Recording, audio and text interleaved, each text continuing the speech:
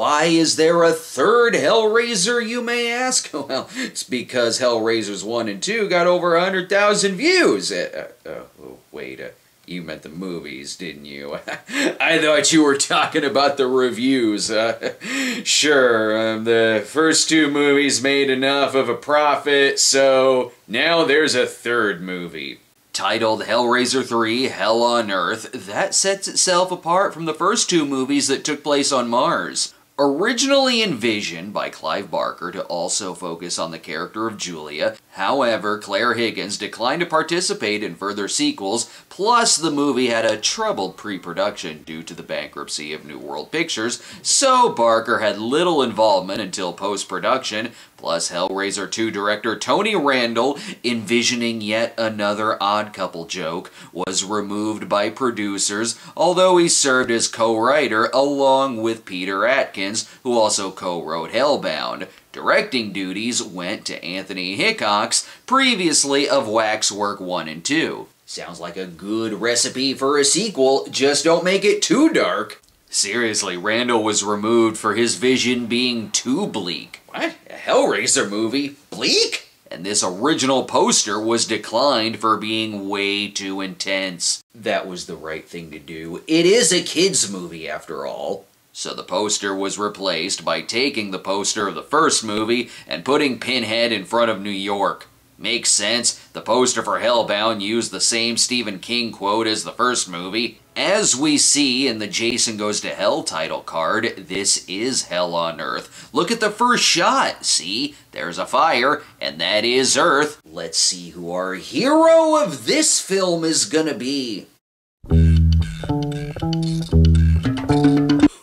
Cool points multiplied by 11. Oh, never mind. This is super not so fly. Here is JP Monroe, sleazy club owner and art dealer. He's interested in this pinhead piece. Not exactly sure how this happened. Let's just assume Pinhead owed money to Jabba the Hutt. Who on earth would make something like this? You want it? I'd love to buy this from you, Kris Kristofferson. Not sure that this is the best Valentine's Day gift, but okay. Though here's our real hero, ace reporter Joey. It's a mystery to me. A mystery how those assholes at assignment knew it. Hmm, well, she's fired. We got an emergency, Joey. This review needs a Deep Space Nine reference stat, but I think the reviewer is only going to reference back to school. She needs a story. Luckily, this hospital is shot like a horror film. There's got to be something here. Ah, good. A deleted scene from Unplanned. This'll do. That is horrifying. We need to outlaw vaping immediately. Then the movie packs up and goes home. Well, you tried. This may be a surprise to you, Brad, but I want to do this the right way. Yeah. Wait, what? I didn't open the box. Why is the movie talking to me? Joey investigates the exploding body by going to a nightclub that's promoting the Hellraiser 3 soundtrack. This place looks hardcore. They booked all of the bands from Hell's Bells, The Dangers of Rock and Roll.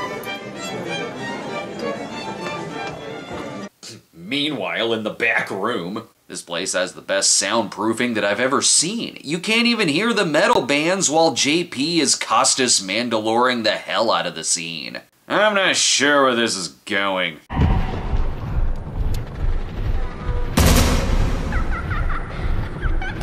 Anyway, back to Rob Zombie's platoon. Joey finds Terry, the girl from the hospital. But let's talk about her dreams instead. It's my father. He died before I was born. But I dream of death and trying to save him. Anyway, that's my shit. About that guy who exploded by chains. He said it came out of this. Given the camera angle, nothing good is going to come out of that box. It is definitely going to be spring snakes. Opening that box seems as good of an idea as sticking your hand inside of this thing. Rathead is when the Cenobites started getting really lazy. Never mind opening the box, just spill some blood on the statue. That'll bring Pinhead back to life. The girls bond over breakfast and the days when Terry used to be a reporter. She retired, though, after mistakenly outing Jerry and George. Now stop eyeing my backdrop and tell me about the dead guy. Well, there's a store. It's like really hip, you know, lots of weird shit in there, and I don't know, I saw the statue. Mmm, Montgomery Wards! Got it on a Columbus Day sale, didn't you? They find the art gallery but discover that it mainly just deals in paintings of Jesse Eisenberg. Oh, and the place is a scam. Weird. JP seems on the up and up. Check it out. It's the box. Ooh, the storyboards. I have the feeling JP might be a little sleazy. Welcome.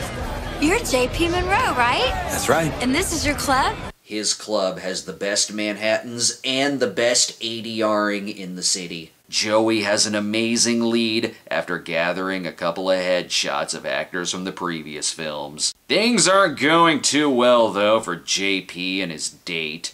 But you gave me a rose. Tomorrow, I'll give one to somebody else. I smell a third act breakup. And they'll get back together. Pinhead will kill anything that moves in this one. He's officially a slasher villain now, especially because this is the first of the Hellraiser movies to call him Pinhead in the actual movie, and not Jesus. Jesus Christ! Not quite. Still gonna have to work on that voice, though. When shooting him surprisingly doesn't work, he has to bring Pinhead more club goers so that he can feed on them and turn into Frank. Wait a minute, I might be mixing the plot lines here. And cut out that racket! I heard some shots. Are you okay? Wait, that was in the club? Again, best soundproofing I've ever heard. Joey is given exclusive cameo footage. I wonder if it'll be Ashley Lawrence, who they mistakenly refer to as Kirsty, when her name is Curtsy. I opened it. And I saw what came out. I don't know what else to call them. Never mind. What in the hell is Nancy Thompson doing in this? And you can't just leave the box sitting on top of the VCR. It'll get folded and all scratched up. What do you think happened to my copy of Bolero? Thanks, Pinhead! And now she'll be turned into Lolita Head. Or much worse, she'll get a phone call from an ex. This is kinda like the brain that wouldn't die if the head was in a statue and had pins in it. Unfortunately, they're cock blocked by more random war flashbacks. Y'all just don't understand Terrence Malick's Vietnam. No, I've communicated to you from beyond the grave to tell you that that was World War One. Well, that was a weird cutaway. Now let me feed you to a statue. Wait! Just because the demon said wait doesn't mean you have to. Though he does give her a nice offer a free McRib and a supersized order of heroin if she offers up JP. No, he was so nice! Oh, thank God I can move my neck now, but I'd still rather not.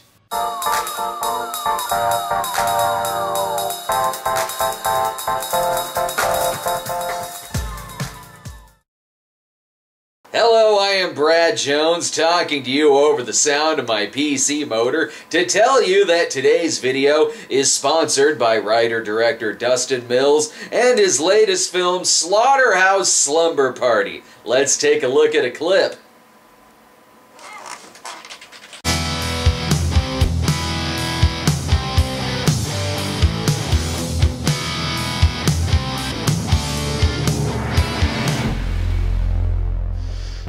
Welcome to the party. Whew, that movie better have a slumber party in it.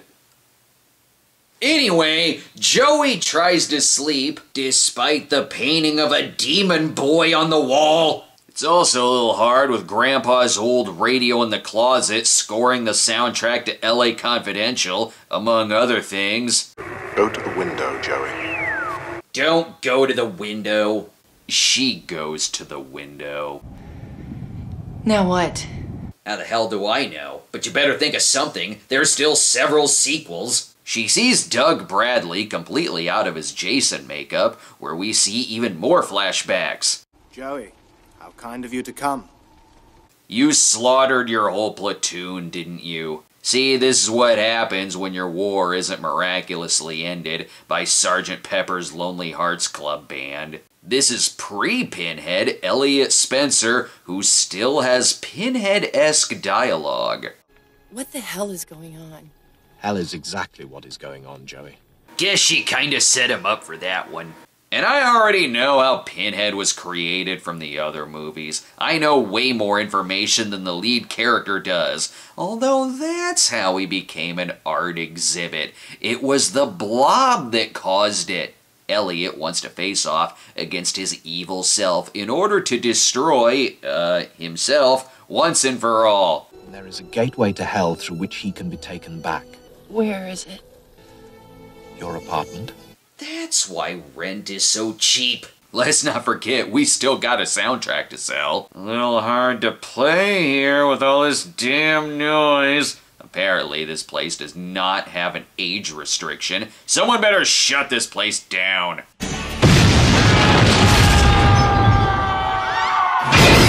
Oops, I hope the baby's okay. Pinhead's really not dressed out of place here. Although this scene is like the series equivalent of Freddy murdering teens at a pool party, I know I shouldn't ask this in a slasher film, but what did any of these people do? See, that's what's gonna happen to you if you don't buy the soundtrack. Oh god, this is a tragedy. There's gotta be one band member still alive to give me an autograph? Well, I guess the reporters and the police weren't really there, or they just left to give the dead bodies a couple more extra hours of shut-eye. It was you who did this, wasn't it? There is a secret song at the center of the world, and its sound is like razors through flesh. Hmm. It's She Thinks My Tractor's Sexy, isn't it? Now kill him with insults! You're gonna have to come and get me, you ugly fuck. Just because he doesn't feel the pins does not mean that he doesn't feel your words. I sense a climax coming on.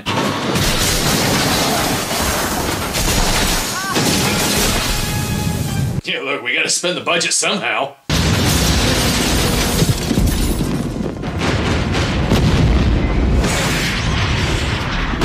I knew all these explosions were just here to screw with Larry. And thus we have the best Cenobite of all time, Camera Head. His curse is that he can only see an SD. Ready for your close up, Joey? Though Pinhead will have to kill him for his one-liners not being as good. CD Head, on the other hand, is cursed with always scratching his discs, so I can't listen to any of my Deep Blue Something albums. And then there's Lush Head. The gang is all here.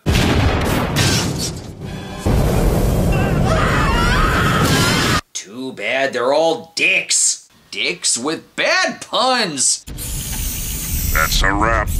Your life has been put on pause. Press here to eject your soul. I need help, Father, and for the last time, I'm not Kimberly Williams. Demons? Demons aren't real. Then what the fuck is that? You're still in a church, little missy. And it's nice of Pinhead to give the guest sermon. I am the way. He's quite the eyesore, but his message from Jesus is still very much on target. Oh, right, JP and Terry. Now they're anti smoking ad head, and I forgot JP was in this head. Oh no, the box isn't supposed to turn against us!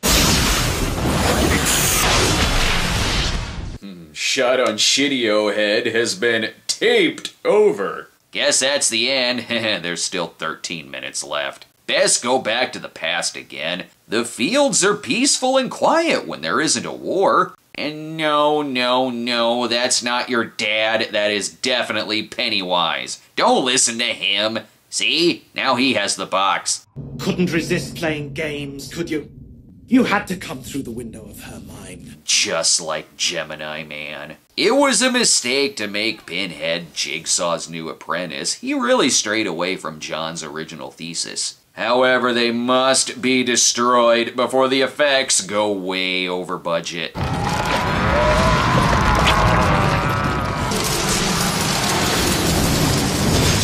Too late. Pinhead's dead and you're 100k in the hole. Now let's bury the thing in the cement in this construction site so that no one will be cursed with the singing frog ever again. Though it will make the architect suddenly want to turn everything into the box for some reason.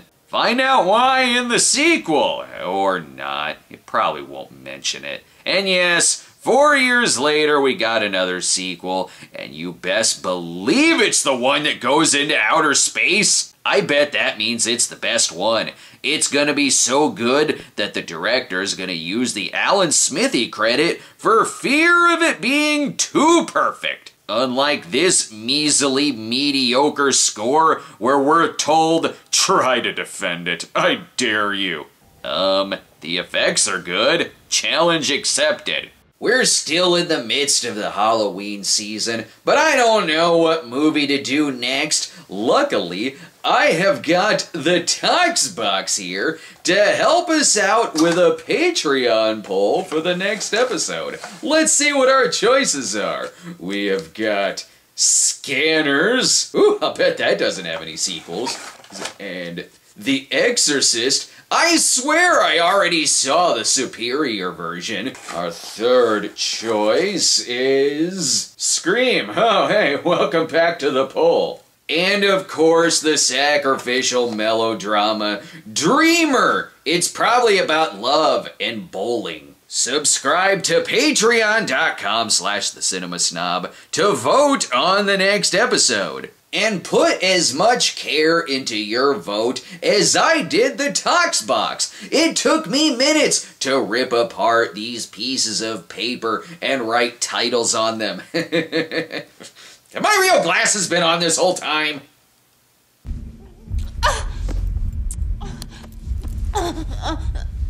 Oh. Thank